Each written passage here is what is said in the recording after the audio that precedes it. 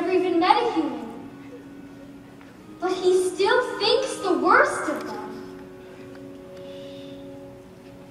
I just don't